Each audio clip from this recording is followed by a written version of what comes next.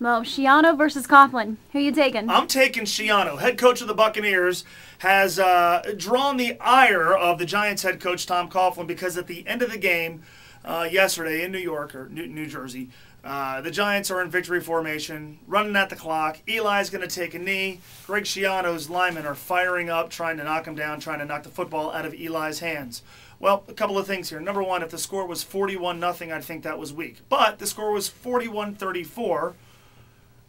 Perhaps unrealistically, the Buccaneers still felt like they had a chance to win, but they still had a chance to win, as tiny as it might have been. Greg Schiano's obligation is to his team, not to Tom Coughlin's team.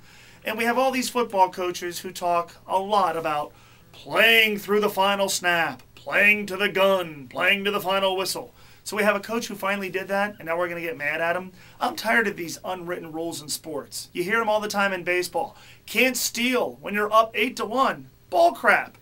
Your responsibility is to your team, baseball, football, or otherwise. The unwritten rule, the most important unwritten rule, should be do whatever you can within the rules to help your team win. What Greg Schiano and the Buccaneers did yesterday was within the boundaries of the rules. It didn't work. I don't think it's ever going to work, but I have no problem. I have no problem at all with employing such a tactic. And if it worked, I could assure you, coaches around the NFL would adopt the same thing if their team was as in desperate straits as uh, the Tampa Bay Buccaneers were yesterday. Email me. Tell me what you think. Mo at ESPN1530.com. You can also send me a tweet at Mo Egger 1530.